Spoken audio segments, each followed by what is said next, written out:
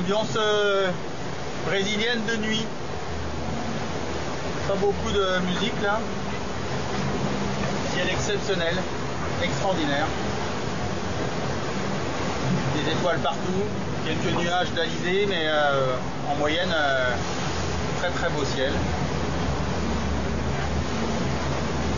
Ça glisse euh, tout droit là, euh, la mer s'est complètement aplatie, il reste encore un peu de vent, il reste 18 nœuds de vent pour être exact.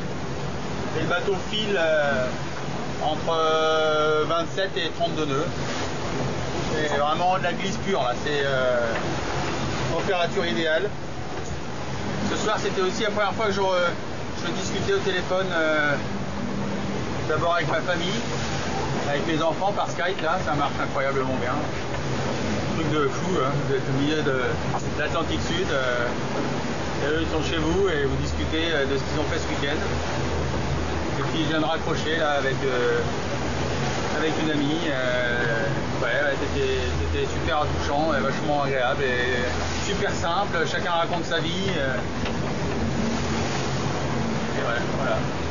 Des moments particuliers, des parenthèses dans un tour du monde et où il en faut. hein.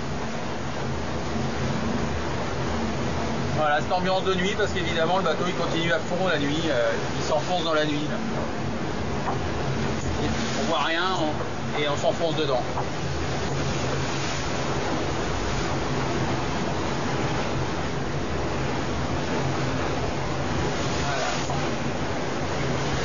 Voilà, Voilà, c'est mes sentiments du soir.